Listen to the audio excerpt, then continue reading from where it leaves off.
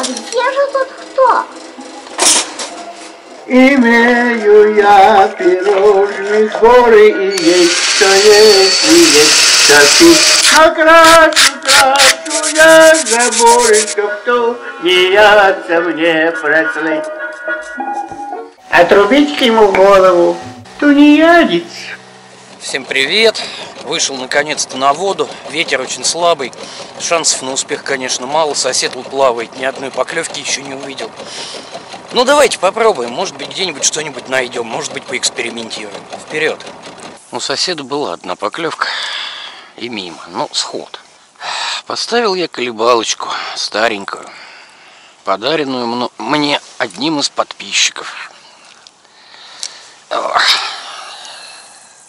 Вот чем хорошо колебло. Оно летит хорошо. А здесь нам сейчас самое главное, нужен дальний заброс. Я даже палку взял другую, подлиннее и шнур потоньше. Zetrix Ambition Z до 28 восьмерка. И шнур Аяши 1.0. Вот так вот. Вот смотрите, какая тут глубина всего. Что тут метр с кепкой?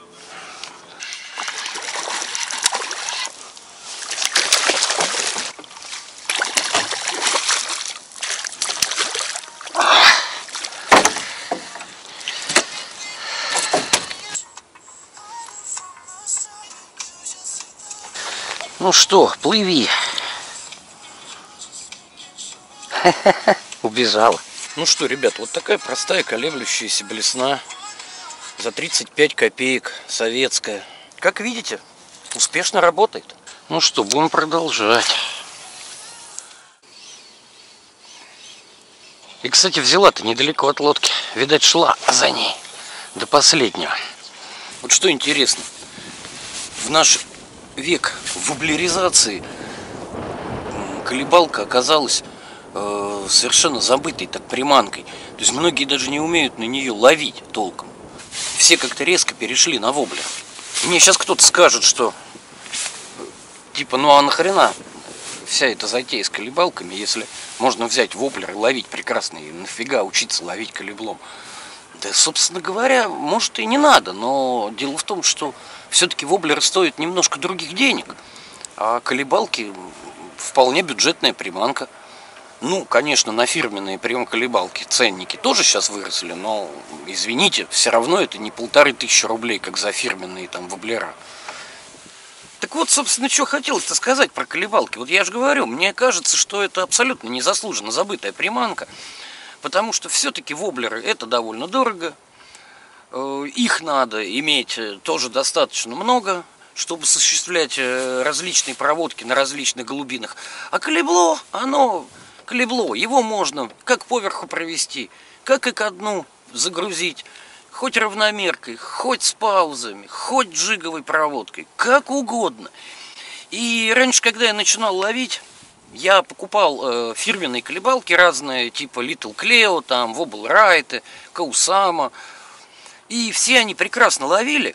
Но потом я начал замечать, что мой тесть, который ловит на абсолютно простые колебалки, типа наших э, советских шторлингов, томатомов и прочих дел, он не менее успешно ловит на это колебло. И как потом, собственно, я и понял, что все эти колебалки импортные, да и наши сейчас, они все в основном делаются с одних и тех же штампов. Со штампов, которые проверены э, многовековым, ну, господи, как я сказал красиво, многовековым, ну, очень многолетним опытом э, ловли наших рыбаков, то есть без вопросов, то есть вот они все, те, которыми я ловлю, это в основном все колебалки, теперь уже, скажем так, советские. Нет, у меня еще дома куча импортного колебла лежит в коробке, но самое интересное, что здесь у меня – на даче. Все колебалочки советские. Вот они. Вот они все родимые. А еще вот целая коробка, которую мне Андрей Геков прислал. Андрюш, спасибо большое тебе за подгон. Прислал мне, подогнал мне со словами, а я на них все равно ловить типа не буду. Вот видишь, а я буду. Вот они все, красивые колебалочки. Да, безусловно, я ловлю на, вот, допустим, вот такую каусаму, и на прудах у меня это хит просто хит приманок. То есть вот э, именно конкретно вот эта Каусама у меня по прудам ловит шикарно. И я ловлю ей вот именно этой блесной. Я ловлю джиговой проводкой. То есть я забрасываю, падает на дно, две-три подмотки, и опять пауза падает на дно. И вот эта приманка шикарно ловит. Но э, вот здесь я больше все-таки перешел на советское колебло. По какой причине еще? Э, у многих импортных колебалок у них есть четкая зависимость э, веса и размера. То есть маленький размер, маленький вес, чуть больше размер, чуть больше вес, еще больше размер, еще больше вес. То есть э, я вот так на вскидку могу сказать, только, допустим, вот фирмы Little Cleo, да, у нее есть, например, один типа размер приманки, который э, сделан в разных весах, там 12 грамм, 14 грамм, 18 грамм, и все это один размер. Это удобно. Э, что касается наших советских колебалок, то э, вот конкретно вот эти колебалочки, они очень тоненькие. Это очень легкие колебалки. Но есть точно в таком же размере более тяжелые модели. И я ловлю и теми, и другими, то есть в зависимости от того, что мне нужно. Потому что, вот как вы сейчас видите, ветер слабый, а приманку надо кидать довольно далеко. И вот воблером я даже не докидываю туда, куда я докидываю колебалкой, причем довольно легкой колебалкой докидываю. Я, кстати, совершенно не помню название вот, этого, вот этих всех колебалок. Даже, даже не, не назову, что из них что. Я, честно говоря, только знаю атом, шторлинг и черноспинка. Но что из них черноспинка, я понятия не имею, если честно.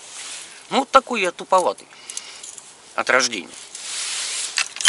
Вот у меня даже есть колебалочка, которую я вообще сам сделал из ложки. И тоже ловит, между прочим, ребят, тоже ловит.